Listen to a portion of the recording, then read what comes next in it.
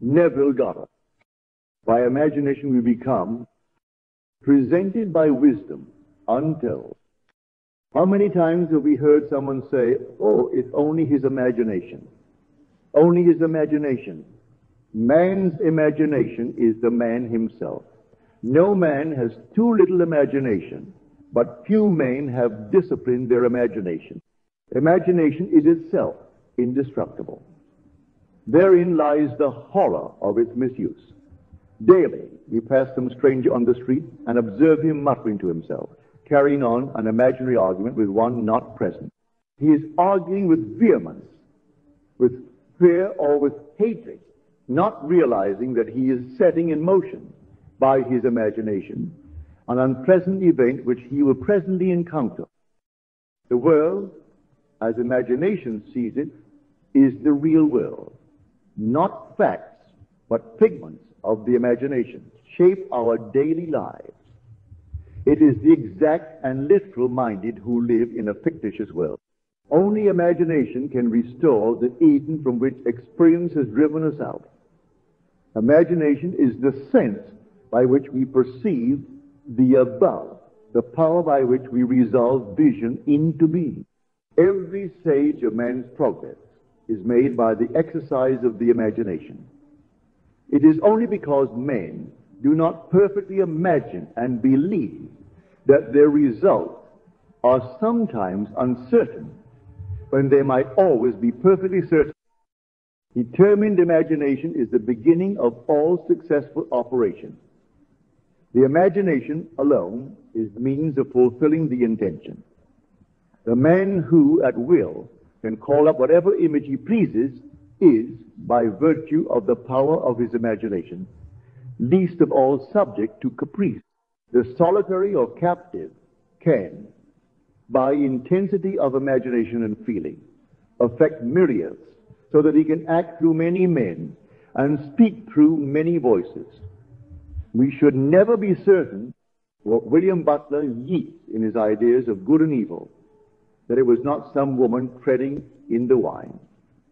Press who began that subtle change in men's minds, or that the passion did not begin in the mind of some shepherd boy, lighting up his eyes for a moment before he ran upon its way.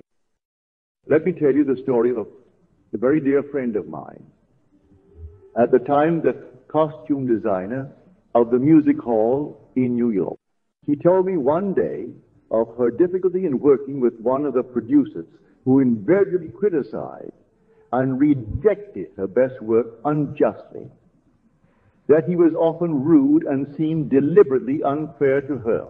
Upon hearing her story, I reminded her, as I'm reminding you, that men can only echo to us that which we whisper to them in secret.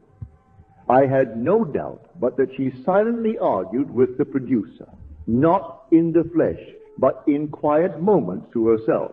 She confessed that she did just that each morning as she walked to work. I asked her to change her attitude toward him, to assume that he was congratulating her on her fine designs, and she, in turn, was thanking him for his praise and kindness. This young designer took my advice, and as she walked to the theater, she imagined a perfect relationship with the producer, praising her work, and she, in turn, responding with gratitude for his appreciation. This she did morning after morning. And in a very short while, she discovered for herself that her own attitude determined the scenery of her existence. The behavior of the producer completely reversed itself. He became the most pleasant professional employer she had encountered. His behavior merely echoed the changes that she had whispered within herself. What she did was by the power of imagination. Her fantasy led his, and she herself dictated to him the discourse they eventually had together. At the time, she was seemingly walking alone. Let us set ourselves here and now a daily exercise of controlling and disciplining our imagination. What finer beginning than to imagine better than the best we know for a friend? There's no coal of character so dead that it will not go and flame if but slightly turned. Don't blame. Only resolve. Life, like music, can by a new setting turn all its discords into harmony. Represent your friend to yourself as already expressing that which he desires to be. Let us know that with whatever attitude we approach another, a similar attitude approaches us. How can we do this? Do what my friend did. To establish rapport, call your friend mentally. Focus your attention on him and mentally call his name, just as you would to attract his attention were you to see him on the street. Imagine that he has answered. Mentally hear his voice. Imagine that he is telling you of the great good you have desired for him. You in turn tell him of your joy in witnessing his good fortune. Having mentally heard that which you wanted to hear, having thrilled to the news heard, go about your daily tasks. Your imagined conversation must awaken what it affirms. The acceptance of the end wills the means and the wisest reflection could not devise more effective means than those which are willed by the acceptance of the end. However, your conversation with your friend must be in a manner which does not express the slightest doubt as to the truth of what you imagine that you hear him say. If you do not control your imagination, you will find that you are hearing and saying all that you formerly heard and saying we are creatures of habit. And habit, though not law, acts like the most compelling law in the world. With this knowledge of the power of imagination, be as the disciplined man and transform your world by imagining and feeling only what is lovely and of good report. The beautiful idea you awaken in yourself shall not fail to arouse its affinity in others. Do not wait four months for the harvest. Today is the day to practice the control and discipline of your imagination.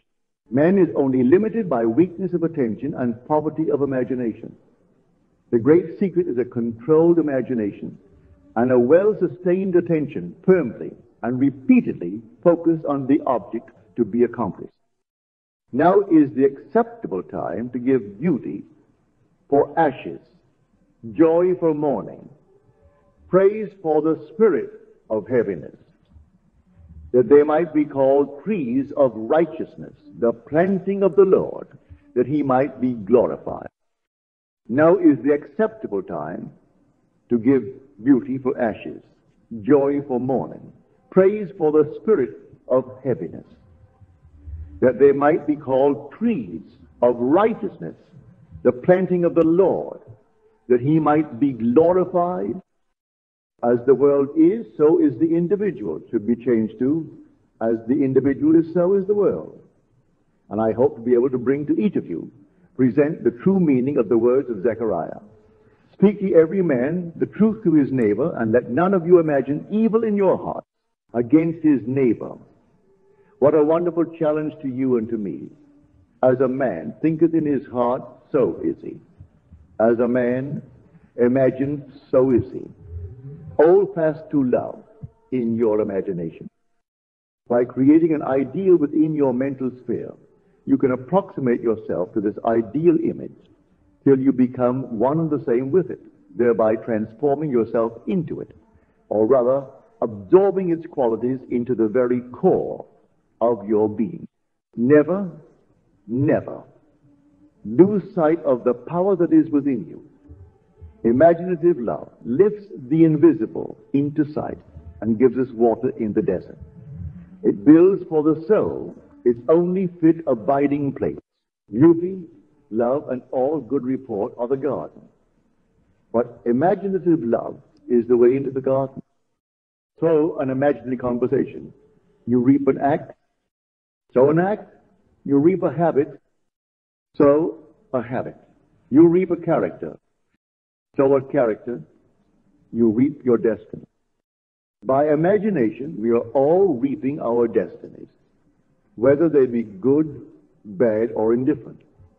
Imagination has full power of objective realization, and every stage of man's progress or regression is made by the exercise of imagination. I believe with William Blake, what seems to be is those to whom it seems to be, and is productive of the most dreadful consequences to those to whom it seems to be, even of torments, despair, and eternal death.